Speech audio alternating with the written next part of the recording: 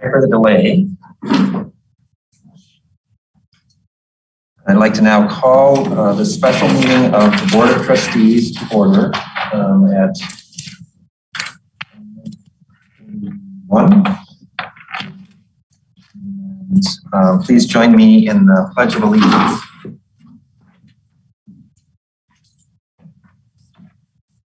allegiance to the flag of the United States of America, and to the republic for which it stands, one nation, under God, indivisible, with liberty and justice for all. Please call the roll. Hathaway, Present. Palmer, Present. Flintoft, present, Brazo, absent, Carey, absent, Noel, absent, Riser. Present. We have quorum. All right. Our agenda is very simple. It's uh, presentation uh, followed by discussion. Um, There a motion to uh, approve the agenda. So moved. Moved by Riser. Support by Palmer. All in favor, say aye. Aye. Aye. Those opposed? Agenda is adopted. Um, Time for public comment. Is there anyone who would like to comment before we proceed with the presentation? Um, questions. What's your name then actually, because I thought about this after yesterday. I was looking through your slideshow presentation that's attached to this meeting as well as yesterday.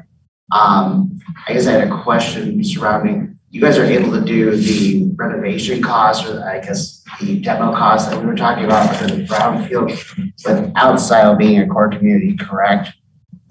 Okay, I just didn't know that. I I looked at Nathan's slideshow and kind of Yeah. Made it seem like that, but it also did specifically say it. So uh, overall, I think whoever did the work on the uh, template for the RTA or whatever the actual tax payment's called did a pretty good job. Um, I think it's rather lengthy. It does a good job of evaluating the opportunity is. Um, Just like to see you guys a little bit further, see what you guys think about. Thank you. Thank you. Is there any other public comment? Um, yes, we have a Zoom hand. Uh, first up is Jonathan Greenberg. Jonathan? Hey, real quick, I just wanted to um, voice support uh, for Mark. I've, I've known Mark for about 30 years and um, he's always been a good neighbor. I've watched his businesses grow. He's done a lot of good for Scio Township. I'm here in support. Thank you, Jonathan. Next up is Rob Pattinson. Rob?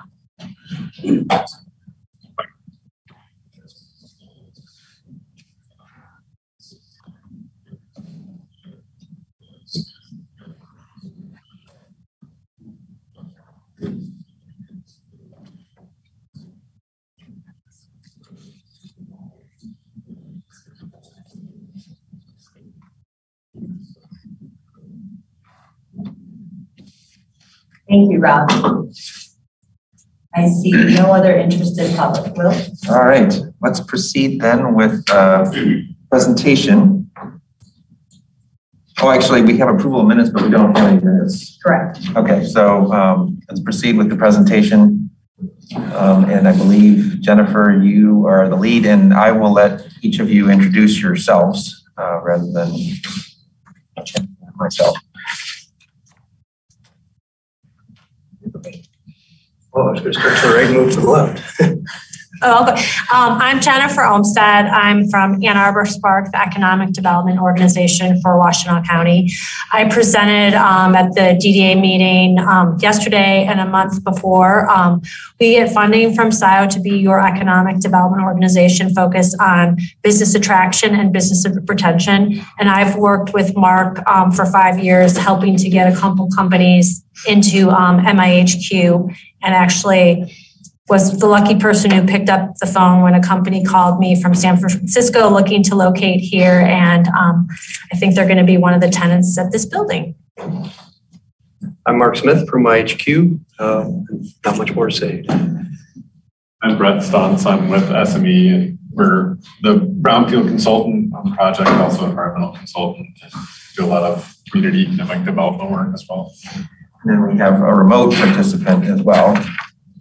Yes, hi, uh, Nathan Voght with Washtenaw County Brownfield Authority. Wish I could be there in person, I'm sorry.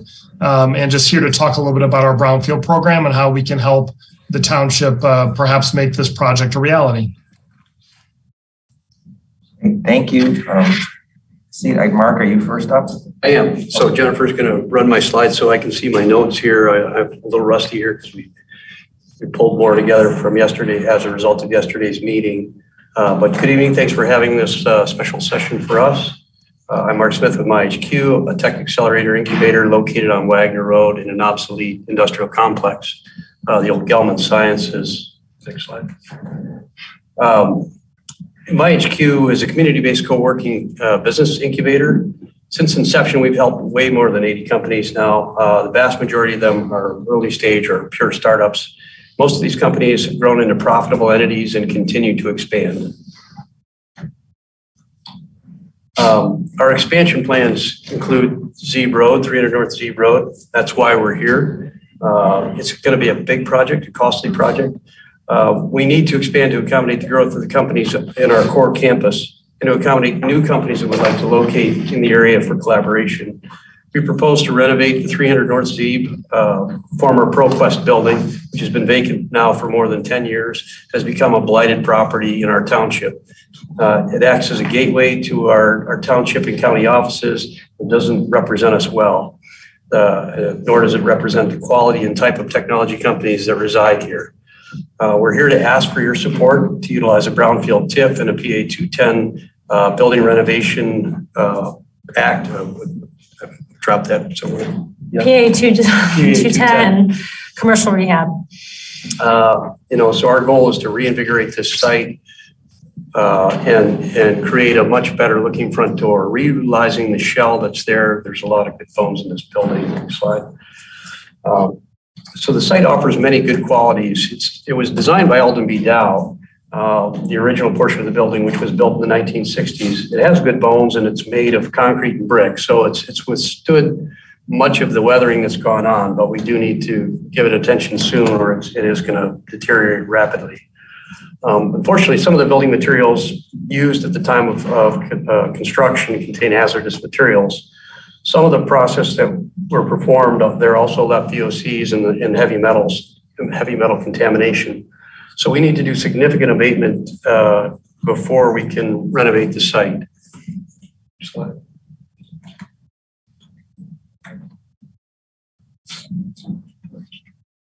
So our plans are to uh, do a complete renovation of the interior and a facelift on the exterior of the site. Um, We'll be converting the, the site into a combination of office, R and D, and pilot manufacturing for the many tech companies that will host there. Um, This includes a a complete abatement of the environmental hazards, new floor plan interior and partitions, and uh, to create functional spaces. A facelift to the exterior of the building while trying to preserve the Dow design elements along the, especially the south and uh, southwest portions of the building. We'll plan to re-landscape the grounds, including a berm and vegetation screen along the north property line. Used, uh, use of native grasses, reduction in in impervious surface. We want to reduce the parking lot. We don't think we need 500 parking places anymore. Uh, Better stormwater management, and where possible, energy harvesting and geothermal systems.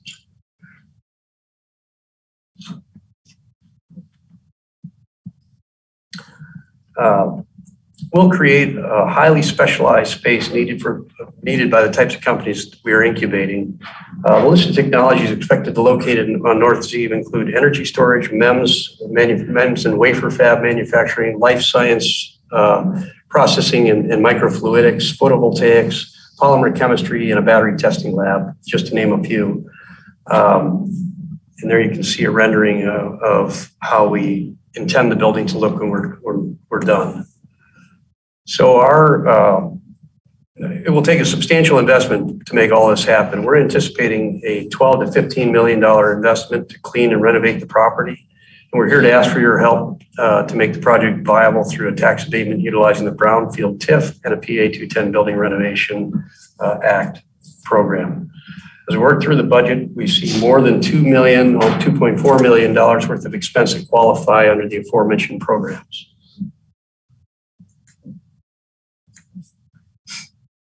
Uh, Chelsea has recently completed a PA 210 approval and has, has a clear set of assessment criteria and scoring method to consider such applications.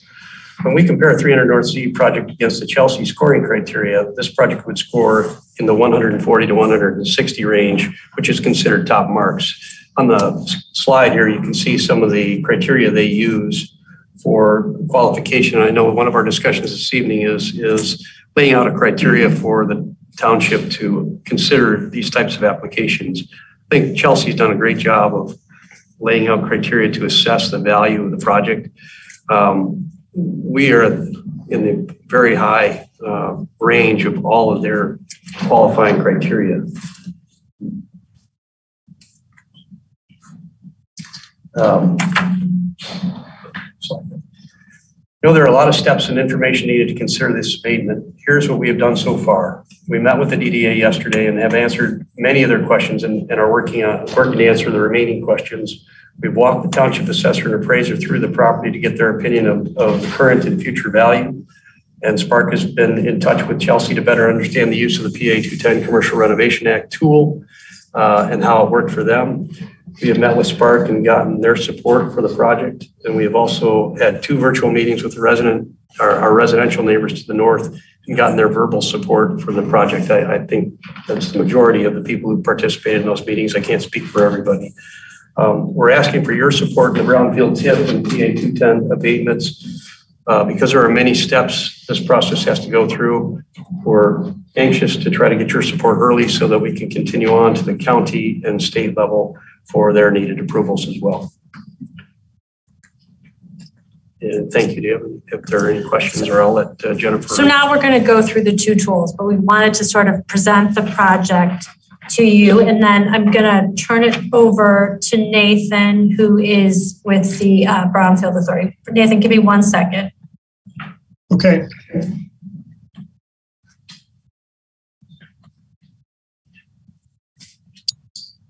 And I am trying to turn on my video. I'm not able to do that for some reason.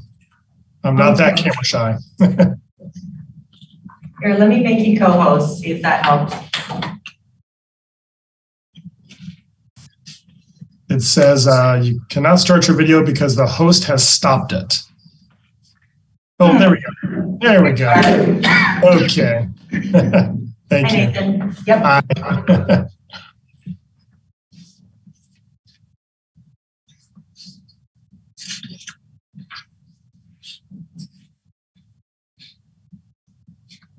Well, while she pulls that up, I can just begin to talk a little bit about our role here. Um, I'm I staff the county brownfield authority. Uh, the township is a participating member, one of 23 local units in the in the county that we work with, and our role is to help communities redevelop brownfield sites just like this one.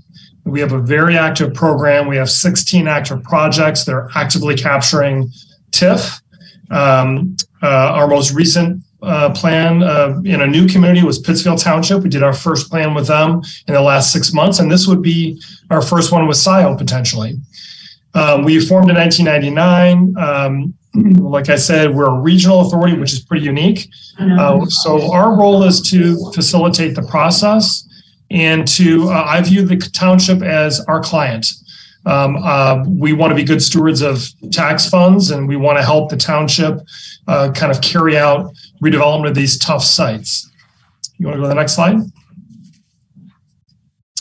Um, our main tool is tax increment financing, and that's a piece of what's proposed, uh, what Mark is proposing for this site. And that simply is uh, you take the current base value, and that continues to be paid to all the taxing jurisdictions. The project happens, uh, presumably raising the taxable value, and that increase is what we use. The taxes paid on that increase in value is what we use to reimburse um, uh, the developer for these extraordinary uh, brownfield costs. Next slide. And we have a lot of different incentives we use. We have grant programs, um, uh, and uh, we help with environmental assessments. Uh, but like I said, TIF is the most uh, common. And in this case, if you look down under environmental uh, types of costs, and this is what the DDA member uh, was alluding to, demolition, uh, certainly soil remediation, lead and asbestos mitigation. These are all environmental. Some of these are non-environmental as well. The asbestos lead does fall under non, but it's all approved in a plan, put in a plan where you know the costs and we have an estimate of the number of years it might take to reimburse those costs based on the projections of taxable value. And we're still trying to nail down a lot of those costs. And that's why uh, Mark met with the assessor.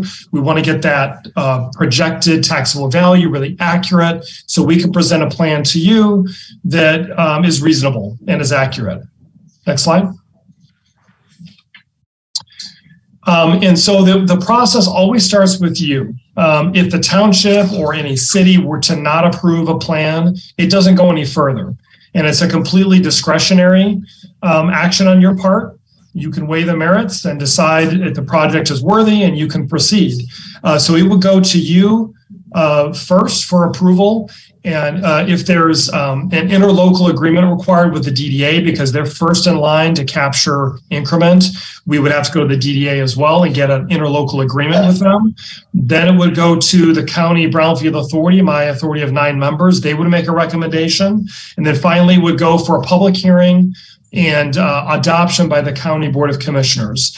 And like I said, if, if you don't, you know, we're not going to, we're, we're going to work with you. We're going to defer to your judgment. If you approve the plan and the plan is reasonable, our job is to kind of carry it through to adoption. And then I work on the back end with your finance director, with the developer, approving the costs. And then as the taxes go up, I work with uh, uh, you all to capture the taxes and, and issue reimbursements uh, until those costs are paid off, actual costs that come in on the project the last step here on the slide is the, the, what's called a work plan, and that simply is the next step beyond the brownfield plan that has to go to EGLE and MEDC. And what that does is secure the capture of school taxes, so the 18 mills of operating and the six mills of SET. Uh, and the beauty of Act 381 is that we can bring all of the taxing jurisdictions uh, to bear on uh, these uh, extraordinary costs that really uh, are an impediment to redevelopment of the property. Next slide. And so, as uh, I think Jennifer mentioned, a, a great example, uh, or maybe Mark did, that we did recently, which was very similar, was in Chelsea. they approved a PA 210, which offers the upfront abatement of local taxes. Um, they did a brownfield TIF plan as well to capture uh, increment over several years to reimburse the developer. And they also got, um, in fact, an EGLE grant as well to make that project happen. So this is not unprecedented. We also did a similar project in Depot Town and Ypsilanti, the Thompson block. So it's not atypical that in, in challenging historic um, old buildings like this that we have to kind of look at uh, various options. Next slide.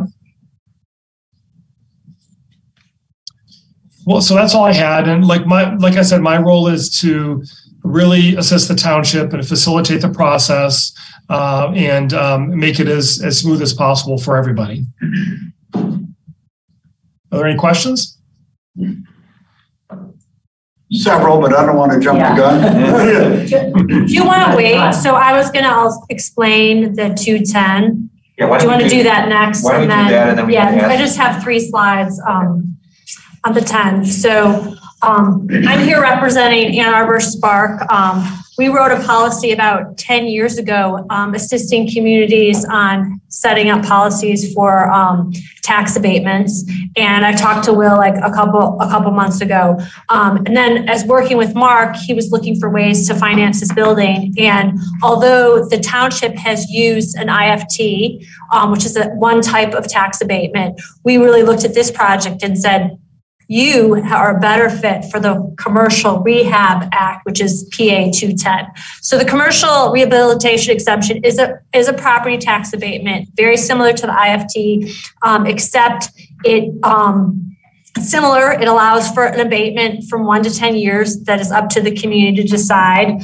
Um, the, the thing that makes it different is that it's really focused on rehabbing the building and going to the owner. Um, that primarily focuses on rehabbing, and it provides 100% local um, millage abatement on, on new investment versus the IFT, which is a 50% abatement. But the goal is to really encourage um, former industrial sites that are idle and in need of uh, commercial uh, revitalization. So there's criteria that's spelled out from the state, right, to establish this exemption. To qualify, you have to be a commercial property that's um, older than 15 years. You have to be, you know, in need of rehab and show an economic efficient condition. Um, the rehabilitation of the property has to increase commercial activity and they, you know, are looking to create jobs, retain employment. So similar to other tax abatements, again, it's up to the local government to determine the number of years um, for the abatement. And so the way um, the P10, um, PA 210 works um, is that the owner or the community needs to establish a commercial rehab district, and that requires a public hearing. Um, and then it's up to the township to approve a district. Um, the township notifies the county who may reject the district establishment. After the district is created, then the property owner files an application for a re, um, commercial rehabilitation exemption. And then there is another public hearing, so two public hearings where um, to approve um, the actual um, exemption app application. And again, the criteria um, is up to the local local government. And so we, um, Spark, as the economic development organization, always recommends that we're in this together as a as Washtenaw County. So we always think all of our local municipalities should have similar abatements because the whole idea is you don't want someone say, saying that oh we're going to go to Pittsfield or we're going to you know leave Ann Arbor. We want you guys to all have the same. So we're always advocating to use the same um, criteria. And so the criteria that we um, have proposed um, that we wrote up in this sort of draft application was you know looking at job retention, the project location, how many jobs it could create, the length of the vacancy, and then you know other other discretion. And as Mark had pointed out, for this specific project, um, this um, you know fits all those and would score um, very well. And so this this is sort of an example of um, a ranking system uh, that the township could use. And wow, Went through that fast. So that's That's good. that. That's it. That's the 210. So um, we kind of the point of this work session was to sort of review the tools um, that we've been looking at to, to rehab the, the building. And I'm going to stop talking. When you say could score very well, score very well on what?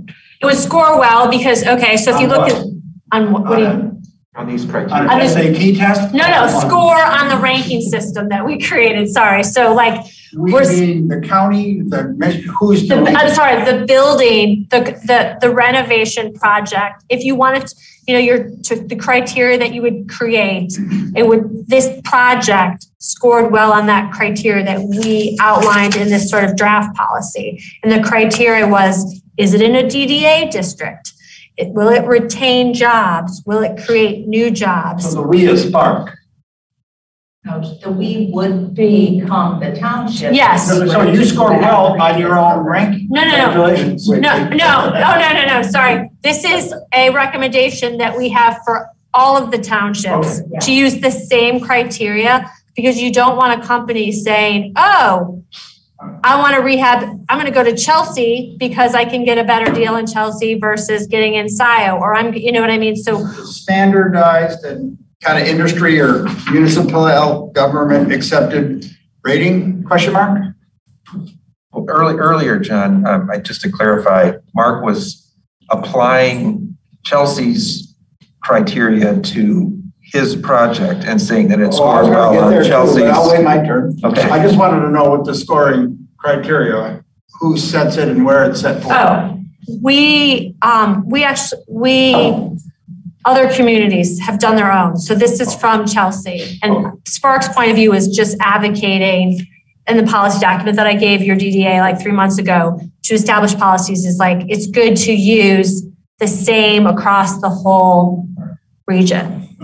No, I, I'm wondering, Will, if I could, I think, I think what would help me, because this is a, It's a lot of information in a short amount of time. Yes. And I want to be responsive, So, so Mark, help me understand what your shortfall is. So you, you've got, I mean, why do you need this money, right? As policymakers, that's really what we have to figure out. Is, is it worth eroding, you know, the taxes that we bring in um, in order to get this benefit? So I understand you've already bought the building and I see this project summary here.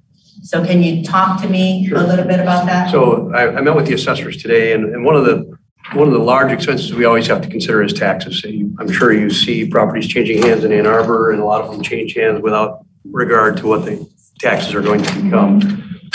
We're running on razor thin margins here. We do a lot of highly specialized space, which costs a lot of money, which could inflate the value of the property where it has limited app, uh, application to other users. In other words, we could artificially inflate the property value to a point where property tax becomes overly burdensome and we can't be profitable. So we're looking to, uh, one, capture that, that tax abatement because we have to get the, we have to spend a lot of money just to get the property to a point where we can start to spend money to make it the way we need it. Um, So we've run our models based on where the taxes are today, where they would likely go with, with um, some abatement. And then I I honestly can tell you that we would be underwater if we went to the full valuation. And I know that's not how the formula works as to what our investment, our acquisition investment and future value might be. So, oh, sorry, so just one, one more Yeah, yeah, I'm question. not interrupt. The, the tax, the, the tax abatement, when would that happen? And maybe it's more of a question for Andrea. When, when Mark says that would happen first. I know it has to get approved by the state tax commission after the county says it's okay and after the board. And it probably wouldn't go into effect until next year, twenty-four. Because it, as of December thirty-first. October thirty-first is the cutoff date Okay.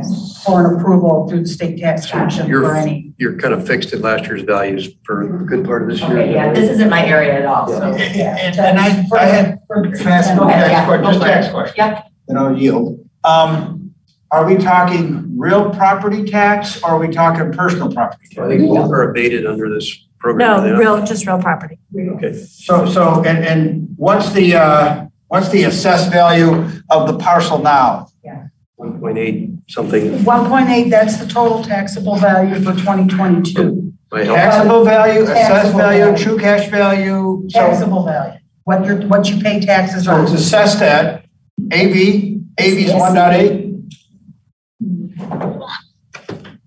The current, okay, And that's for tax year, The current state equalized value for twenty twenty-two is one, one million nine hundred sixty-two thousand two hundred. That includes land, building, and land improvements. that's SEV. That's SEV. And is that the same as what it's taxed at? Or is that a different value? Taxable value is one million eight hundred twenty-three thousand nine hundred and ten, So one point eight TV. right? And that's, um, land, land improvements and building. But the PA two-ten is only for the building value. It Okay, does not include the land or the land improvements. so land, building, fixtures, improvements. Right. Okay, And that value for 2022 is 875,477. For, is that land? Building building- portion of the taxable value. So we're talking about a million dollars is the base on which the, this tax or the relief would apply? Round numbers, April? That would be the base number. Okay, so That's the number that would go on the application. what, what's the current value of personalty based on the photos? Not much, right? There is no personal property in the building. I mean, that's what it looked like. but Yeah. it Could be. There's nothing there. And would the personal property taxes be borne by this entity seeking relief or the component uh, uh, tenants who, who buy things to do their work? What's the scope of the relief? The business personal property traditionally is on the business, the guy going into that particular suite or store or whatever. I believe that portion would still be okay if they brought in their own computer, their own microscope, their own whatever. it would be okay. But But- that subject to tax at a full rate or subject to some sort of relief? No, that port, that portion wouldn't, the personal property to, if I went into Mark's space and said, hey, I want five thousand square feet to do my thing, and correct me if I'm wrong, Mark, but the office furniture, the computers, the machine, piece of machine, that portion, If he's successful, people are gonna come in and they're gonna buy equipment and they're gonna buy a lot of things that don't become uh, realty, but their township will recover the taxes on that, question mark? I believe the brownfield is tied into the personal property, and when you say the brownfield, what, that would not include Joe Tennant going over there and leasing a space in his, uh, and if he brings in his own office furniture, correct? So, Or, so two things, right? Uh-huh. The, the PA two ten would abate real property only, Right. not personal property. And to the extent that there's increment from real property, the brownfield could tip that. The personal property on the site is also eligible for reimbursement. So that, so that's one of, one of my big questions, mm-hmm. what I should ask first. We're talking about two potential avenues for relief, correct? We're talking about a TIF capturing the increase in taxes that, that occurs naturally and, and, and that goes, is that, that's one of the forms, a TIF, right? And that doesn't get you to where you need to be to do your project, it sounds like. Is that correct? Correct. And, and, and is the TIF on the increment that happens naturally as property values increase? Or does the TIF also go to the acquisition of personal property on which taxation occurs, you know, by the township? So both real property taxes and personal property taxes can be captured for reimbursement of brownfield eligible activity costs. And is the township able to say, we'll grant relief with respect to one, one, but not the other? The, yeah, the, the township can make that distinction and limit reimbursement to be, um, so a brownfield plan can include personal property or not include personal property, incremental taxes there. So you're talking a TIF. And then the other form of relief is just old school abatement. Right, and so they overlap, right? So the abatement would be up to a ten-year abatement. If you think of, you know, the taxes increasing through Mark's investment on real property taxes, there is a piece of that that's state school taxes, and there's Right, a I was piece. gonna ask, that's three or four questions down the road for me. Okay. And there's a the other piece of that is non, non-school taxes, so your township, county taxes, those sorts of things. The PA two ten doesn't operate on the school taxes, it only operates on the non-school. And so it would abate those for ten years, which limits the, the real property taxes. The school tax portion, which is not limited by the PA two ten during that period of time, largely could be utilized for reimbursement of brownfield eligible activity costs. So, so you're, we collect, will this apply to both winter tax and summer tax? Yep. And we collect winter and summer taxes for ourselves as well for other people, our libraries and schools and what have you, correct? No, no, we don't collect for the township in the summer.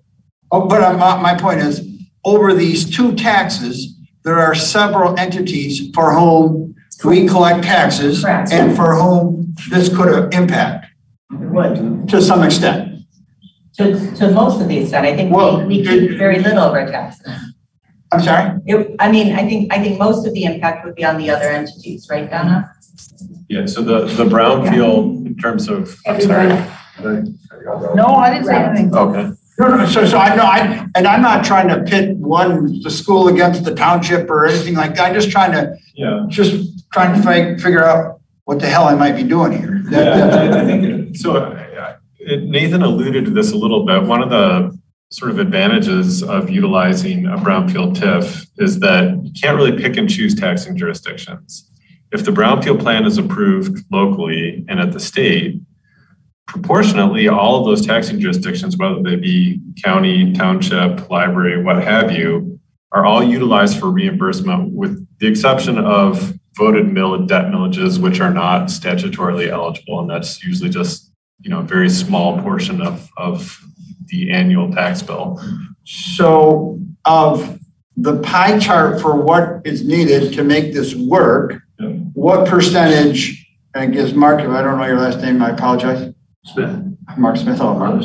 Uh, so, Mark, the pie chart of what you need this for, how much you anticipate the ask being, to the extent you have a specific ask, for TIF or the recapture, and how much for pure old school abatement?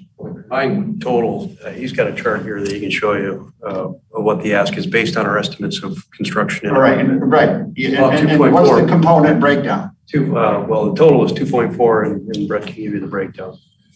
Yeah, so two point four million is the brownfield TIF amount. So that would be of eligible activity costs. So that's like the environmental cleanup, the asbestos abatement, the interior demolition. Those are the brownfield eligible activity costs.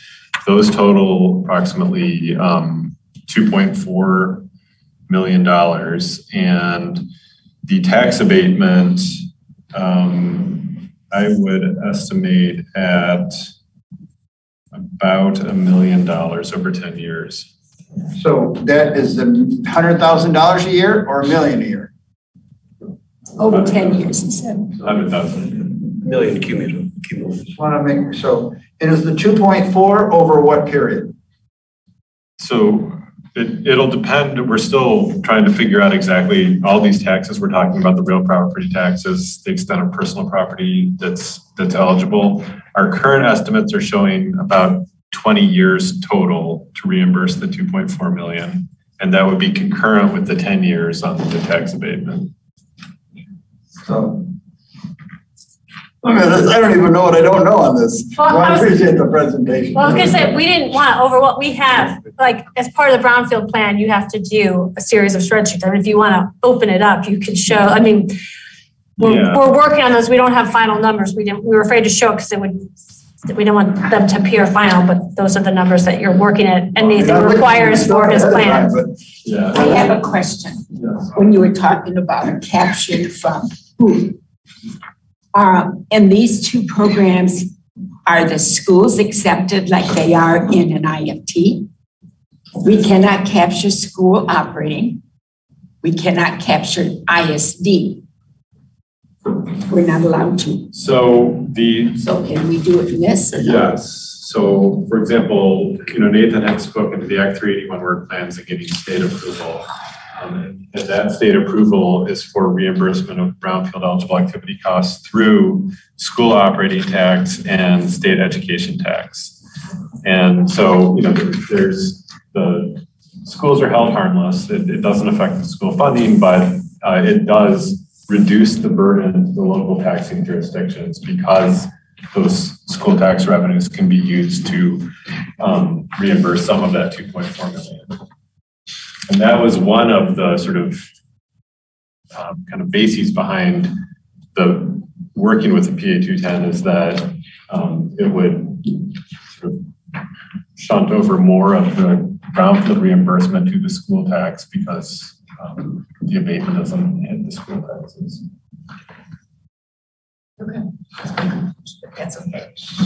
We'll get to the nitty gritty whenever that time comes. I have a question about timing. There, at some point, there's gonna be an ask, maybe there's already an ask, but I'm telling you, this is an ask that I'm gonna need some time to get up to speed on. There's questions I'm not asking because I don't know what to ask. Or I don't know the impact to our budget, um, and, and all that stuff. So, um, I'm not as smart as Mark Brazo, but that's just the way it goes.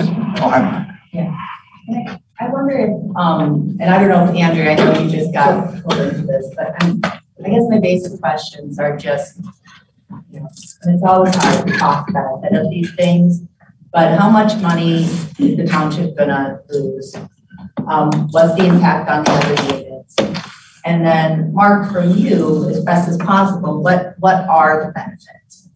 Um, you know, in terms of, and I know that's tough in terms of number of jobs and stuff. Jobs, commerce? Yeah, there are straightforward, purchases? there are straightforward benefits. One, we're going to take care of that blighted property, which is our front door. That's, Sure. that's going to be a big plus. We are bringing, you know, we're expecting two to 300 jobs in the 80,000 and up range. This is a high-tech, new tech uh, companies that we want to foster in our community. Uh, They're coming here to collaborate with other companies. They're coming here to collaborate with the university. And uh, we, we could see an element of a battery testing lab, which might also collaborate with the university and become uh, a key test lab for the entire nation where it comes to battery and, and EV. Uh, and then we're also doing things in microfluidics. Uh, so life sciences, we're, we're fostering new technology jobs. This is not your father's old manufacturing kind of belching smokestacks. This is high tech, clean tech, uh, high value. So what would we, what, what could we expect to have? And, and because I know there's so many processes going on, but I'm wondering what level of detail could we expect to have before us before we're asked to make a decision on this? And not just from you, Mark, but also you, Andrea. Um, and secondly, what are the mechanisms either through the um, commercial program or the, um, I'm sorry, commercial rehab program or brownfield? What mechanisms do we have to kind of hold an applicant to it to say, check in in five years, we're not getting the economic benefit? What, how can we hold each other accountable?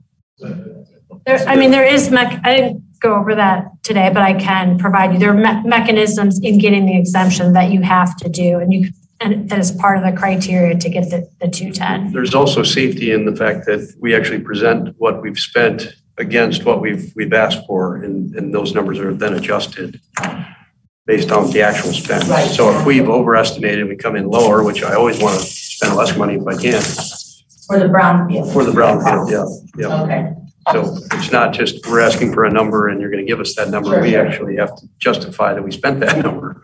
I think I'll have, like John said, I'll have more questions when I get smarter about this.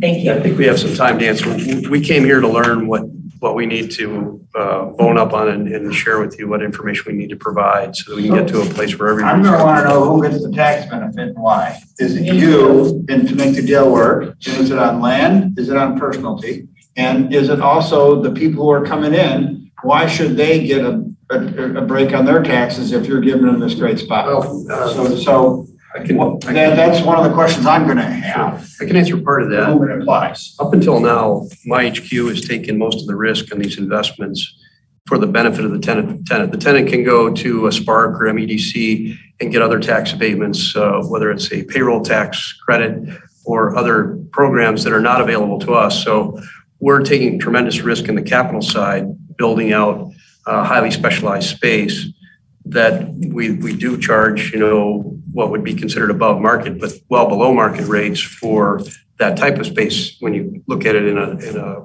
regional and national sense. So why should they get a break on the taxes that they have to pay when they buy things for their Well, business? what, what the tax payment would allow us to do is to get the infrastructure in place, allow them to come in and use the space at reasonable rates. Otherwise, you know, we're going to be way above market and it's not going to be justifiable. Notwithstanding the, notwithstanding the potential abatement and TIF recapture you're going to be getting? Well, without the, t- we would have to obviously adjust our, our rental rates for whatever our costs are. We, we have to, you know. All right. So they're, so they're benefiting from lower rent. No, I, Well, no, mar- essentially getting good infrastructure for market rent, market rates. We take some of the, the risk on by putting in that specialized infrastructure that services things like ultra clean rooms and dry rooms and, and uh, wafer fab type manufacturing. but you can also incentivize them to come in because they don't have to pay taxes on the property they buy. Well, it's built into their, their lease that we, we currently run a, a true gross lease, so they're effectively paying the tax through their rental rates. So Paying what tax? Personal tax or property tax? Pay personal tra- tax directly to you. That's, that's assessed on them, the, the real property tax. I, I'm only talking realty. I'm talking personal only. Because if, if you buy all these million dollar things, Yeah. then that's an incentive for us to do the deal with you because we're gonna get the tax on the million dollar things that they buy. Right. Does, does that make sense? Yes. I mean, that's, uh, I don't have any preordained positions on that. Yeah. So can I just simplify the question from my standpoint, what I'm actually doing today? These businesses, when they come into your space to run their business, I would send them a personal property statement. They would be required, based on whatever their little area has, and send it to us. And then we, as a jurisdiction, would send out the tax bill to them. Mm-hmm. So when I said, when they buy all that office furniture or that widget machine over there to do whatever, that's taxable as personal property and that money stays here and to the. Or is that TBD? Well, so Or- personal property tax revenue could be utilized for reimbursement of brownfield costs. Those wouldn't go back to the tenant. Those would be like the environmental cleanup, the asbestos abatement. So just like real property taxes under a brownfield plan, the personal property taxes could be utilized for the same purpose. I'm gonna use could be with TBD. It could be, it could be used to accelerate know, I- uh, the payback, which I- would I- shorten. I, the- I appreciate the, the, the, the give and take and the possibility. Yeah. So all of those details are part of what's worked out in the agreement the- the- that you talked about in more detail in the DDA meeting yesterday. Yeah, and, and, you know, back to an earlier point, I think there, most brownfield sites, you typically see an erosion of taxable values over time. They're vacant, you know, there are problems with them. Over time, the taxable value goes down. One of the benefits of the brownfield program and, and tax abatements as well is that that would be stabilized. So it would be no longer further eroded during the term of the brownfield. That base value of taxes that are paid is regardless of the abatement, regardless of the brownfield TIF, are going to keep going to the taxing jurisdiction. So that's not going to go down anymore. The, the, the benefit to the development comes through utilizing that increment, utilizing the increase in the taxes for the purposes we're talking about here. Um, and so how you do that in terms of you know, specific agreements, there would be a brownfield reimbursement agreement beyond the plan that's the contract that you can, you know, consider if you have talk, I think about, you know, how, do we kind of hold, we look five years down the road, are we really getting what we, what we said we would? Well, the brownfield, you only get reimbursed the extent that you do your cleanup, to the extent that you do the abatement. But if you have other considerations like job creation or um, investment, those can be put into um, an agreement for a tax abatement as well. And so there are mechanisms to, you know, if, if there are certain metrics that, that you come up with that are important to the community, then that can be part of the agreement as well. So there really is a lot of local control over how you want to utilize it as a first, at a first level. I mean, I guess I understand there's risk in what you're building, right? It's a very specialized space, but you're a business, right? I mean, I have a business, right? I, we all take risks. So to me, the risk doesn't really matter, right? I mean, that's mm-hmm. all businesses. I'm going to argue any restaurant that opens up, especially now, all take tremendous risks. So that part I can't really give you any value for. If I think to Jessica's point, if there is something tangible and measurable where we can get see an ROI, and if you don't meet those metrics, you lose the whatever abatements there are. As maybe not every five years, we probably put you know uh, leading indicators, right? So what are we going to see in the first 12 months? What do you expect in the second, you know, and, and so on. And if you don't meet those, guess what? The abatements now now go away, or something like that, or they're diminished, or whatever. There's some kind of ratio that the accounting people can figure all out, but what that makes sense. That would be fair and reasonable to me, because it's just an exchange, right? There's a benefit for us, there's a benefit for you. And also, I think what's hard about, you know, when like a, a, you know, the unit that collects the tax is we're making this determination for all the other municipalities. And we're saying, okay, what's the value of not giving that portion to the library or the school? So we need to have a lot of good information in order to justify that. Yeah, and, and as part of the brownfield, it can kind of be extended to tax abatement, we put together revenue projections. And the main purpose of those revenue projections is really to look at the brownfield reimbursement. But as part of that, we're looking at what does each taxing jurisdiction tax? And then there's a base value for what the current, you know, revenue generated by that is. And there's an incremental value for what will be generated. And you can see in, in very specific dollar amounts what the current base values are for each of those taxing jurisdictions and what's at issue here for each of those taxing jurisdictions. Um, and so in terms of the cost benefit, I think it, it helps see what um, dollar amounts are really being talked about for whether it's the library or the township or the county or the state. Do you have a question, Sandy? Well, I want to answer Jessica's previous question.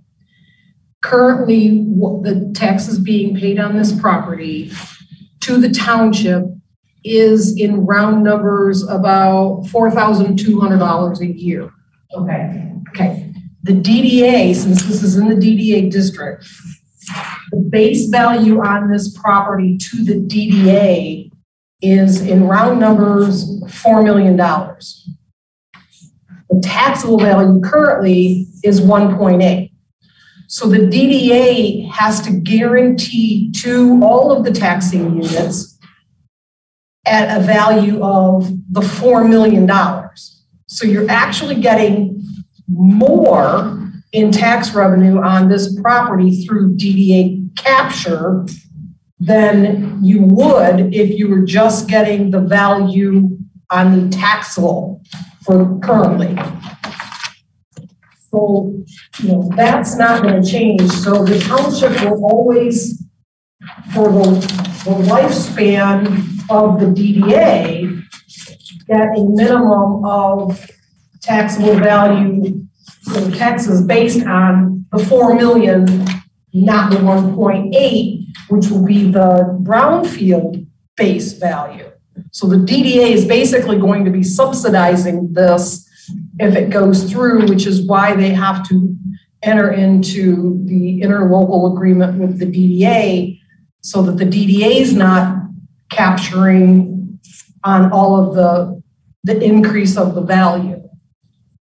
And I appreciate, if this is too big of an answer, let me know. Thank you for that. Is what, how did we get to the four million for the DDA? Because when a TIFA district is, is created, whatever the value on the properties in that district are on the day the TIFA is created becomes the base. And the TIFA district must guarantee that base. So at the time the DDA was created 30 years ago, it, it was an active site worth 4 million.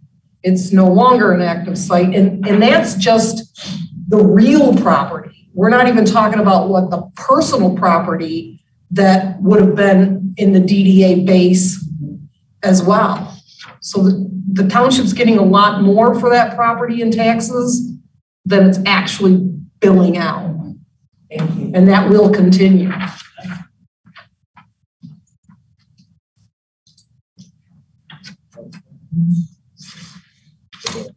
Anyone, anything, anything for Nathan? Sort of hovering out there?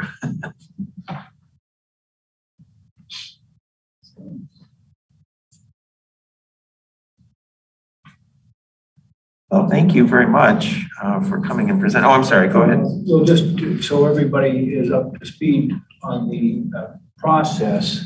um, uh, At some point, this is sort of informal get together today. Um, There would, the first sort of formal process is a public hearing um, uh, in in which uh, we have to give notice to the property owners and to the, and to the county. Uh, And we have to do that with ten days uh, notice. Unlike many public hearings, there doesn't seem to be a notice for publication in the newspaper. In the second public hearing was mentioned earlier, there is that notice. Um, And I say that because if there was interest in having this occur at a meeting in two weeks, uh, we can still meet that deadline, but we have to move quickly to get the notices published to, to to meet the uh, publication deadline for the meeting, this, the meeting of this body on the 24th. If we were to do that, that would keep this moving forward. Um, It doesn't, you know, obviously scheduling a public hearing doesn't bind the board to any particular decision. Um, But it is a necessary step if this was to move forward as um. And I might add one other thing as well, and that is that there's a public hearing and then uh, at some point thereafter, uh, uh, the township needs to take specific action to create the commercial rehabilitation district. That could happen at the same evening, it could happen some subsequent. But it can't happen without that public hearing. Public hearing first, then action by the, by the board. So one last question, just to make sure I understand, because I know I stepped in late, so I hate doing that and saying something dumb. Uh, I sometimes say dumb even when I come in on time. So, uh, is, is the plan then for you to share back with us some type of R- measurable ROI, say, hey, here's a plan I propose, it's gonna, you know, we can, hard milestones in place that are clearly measurable, nothing fuzzy. Yeah. Um, that goes against hard dollars, uh, that offsets your, the, the- the abatement over X period of time? Is that, is that the plan? We've got those numbers already in a spreadsheet, and we can define what the time window is. Oh.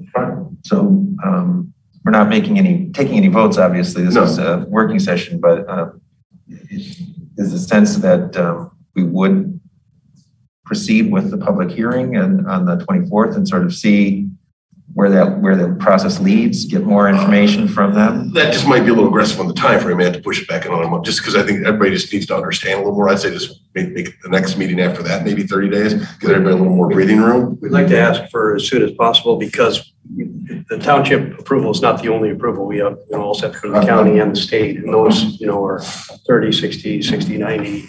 I, what I'd say to you in the meantime, I could see some kind of real hard ROI, like, hey, Yeah. and it's gotta be crystal clear, like very measurable. So like anybody can wrap their arms around it, right? It's like, okay, if I hit this number, you know, we're good to go. If I don't hit this number, all, all abatements are off, right? It's gotta be something really Could that be, is that possible? Well, I don't know if it's fair to say if then, if, you know, if, if we're waiting on equipment to come, we're, we're gonna, we're planning to try to populate the building yet I this year. understand it's good enforcement measure and all kinds of other things I can understand that that occur, right? But Yeah. Let's put Devil's some, in the a- a- details. an initial proposal, you know, to be proposal, to be marked up, do it in Word, right? So we can all mark them at our comments, because everybody, I'm sure will have thoughts and ideas. But if you, I think if you do that, it might be plausible to get it on the thing, on, the- on the next agenda, but I think that's the key document for me anyways. Is just what's the real ROI here to the, to, to side? I, I agree, and, and Mark can explain what we want the ROI to look like a lot better than I can, but fundamentally, that is my number one question too, is like, how do I, how do I know that, you know, all of these benefits wouldn't occur if we didn't take this step? And how do I know that those benefits are greater than the loss of tax revenue that the units are gonna get? Because we have to answer to every other person that comes in here and they have a building, they're gonna have a special thing and they're gonna put a special restaurant or a special building, you know. Well, It it can go on and on and on, so you've gotta have a, a very clear delineation of, I'll- I'll we have say a this. distressed building, I got it. Yeah. Like I said, the risk, I really don't care, no offense, I don't mean that in a negative way, but I'm a business owner too, I gotta take on all my risk, right? Uh, as, as every person here does, right, when they sign up for a house or whatever they do, right? So, uh, it's gotta be just, like I said, very defined that we are getting our, our investment back, we're making an investment in you, and this profit for the greater good. Yeah. What's, what's our, what's our fallback position if that thing doesn't happen, right? So the fallback would be it sits as it is, and- or somewhat, some. I'm sure if we make the investment with you. Yes. What, what's the fallback position if you don't deliver on, you know, on, on, on, on your, on your promise? Uh, We'll have to find that. The- Right. One thing I can say is that there's, there are limited properties in the township that sort of meet this criteria. So as far as someone else coming in and, and saying, we want to do this over and over and over again, there are just very few properties like this. I understand, but I still have to look out for the, my job is looking out for all the residents of the town. So just, just make it, as long as it's, a again, I'm I'm looking for just something common sense, not something extreme on either side. I'm like, like, like you, I'm a business guy, right? But it's gotta be fair to the township, right? So give us an investment, like if you believe in your plan and you believe that you're gonna have all these level deliverables and these tenants, okay, then kind of, let's have a, a, a, plan that's, that's indicative of that, that doesn't put us at risk. The, the risk should fall back on you rather than fall on us. So it seems that we could proceed with the public hearing on the 24th. The next step, assuming things move forward, would be uh, action by the the board to create this district. This is my first meeting here, so I don't know all of our protocols, but conceivably, I suppose that could be on the agenda as well. If the public hearing does not generate, you know, enough answers or a comfort level on the part of the board, we could uh, not take action on the 24th Right. and push it back. But if there is a Sure. sufficient comfort level on the 24th, That's fair enough. we could take action. All right, yeah, that's So, good. so I think we, that's fair. so we, we'd be looking for the plan that Mark and uh, Jessica were describing. Um, and, um, Yeah, if you get the plan early, just so I can look at it, and give you some, my initial feedback, kind of what I'm thinking. But just, uh, it doesn't have to be complicated. Right. Just a, Jennifer, go Well, and I- and I would say, we didn't do it today, but I could give you a template abatement agreement because there are requirements to the state that you have to meet, that your abatement could get revoked, that address some of your things, and then the community can add to that, but I could write out a template abatement Yeah, I'm agreement. open to, I- obviously, we want you to take the building and be successful. We're, I, don't, don't get me wrong. I I want you guys to rock and roll. I just want to make sure things do go sideways. We're not the ones holding the bag. That's all I'm saying. And I, and I would say too, I, and I haven't been directly involved in any of the three hundred North Sea discussions over the years, but what I hear is, you know, at one time neighbors were concerned about something undesirable going in there, right? And now what I'm hearing, at least from the few neighbors, is that they're really excited that you're there, right? And, and, and I'm excited about that too. Um, I, I haven't heard as much concern about it being vacant. Of course, we want it to be filled, we, you know, we do, but to, to be honest, what I heard more concern about over the years was it being developed into something undesirable. Not that the vacancy or writing for, waiting for the right, um, buyer was so much of a concern for the community. I, That's really the other properties. Nice. I, I can speak to that a little bit because um, some of the earlier proposals came to the planning commission when I was there. And I, I did hear from neighbors who were concerned about the the deteriorating status of the, of the existing building um, left vacant. I, I think it was particularly troubling the, the, the people who were sort of making their way onto the property to um, try and sort of conduct their uh, own salvage operation, one of, one, one of whom died in the process. But I think all of that activity was very troubling to the neighbors as well. Yeah, I think it continues. We, you know, we're trying to head that off, get the building secure and load out the debris that, that was, you know, kind of left behind. Part of the positive reaction that we've heard so far, I think, is because of the nature of what you're proposing, but I think it's also what you're proposing would address some of these concerns that the neighbors have about the building remaining vacant. Well, the only proposal I could remember coming or being discussed, they wanted to build Oh, yeah. apartments and stuff from line to line with enough room to park and, you know, no. No, the neighborhood was not happy about that proposal. I think. I like what I hear. These first two steps, I sort of understand as just a preliminary matter of form that you do to start the serious process. Am I correct in that assumption? I mean, the public hearing. No, That's part of the process. And I, the one thing I would add for you is, one of the reasons why we're propo- promote, proposing a commercial rehab is it's just for that building. So we're not taking the whole site and saying, here you can get payments if you're gonna build other stuff. So we thought that was something that the township would appreciate because you're looking to rehab the building as to what it was before versus creating more density or more development.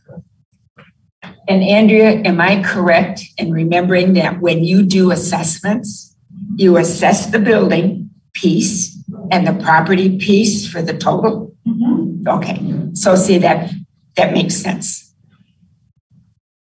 Okay. Are there other questions before we wrap up here? If not, then, I'm um, excited. I want to see, I want to see them live again. if not, then um, I would entertain a motion for adjournment. Moved by Plummer, support by Brazo. All in favor, say aye. Aye. Those opposed? All right, we are adjourned at uh, quarter to seven. We will reconvene for our regular meeting at seven o'clock. Got time for dinner now. Just in case you guys I get. did my. Well, and, and, and um, Mark brought. uh, Recording stopped. Oh, this is. the- Protein bars. All right, this is good for this. Yeah, everybody else. I know.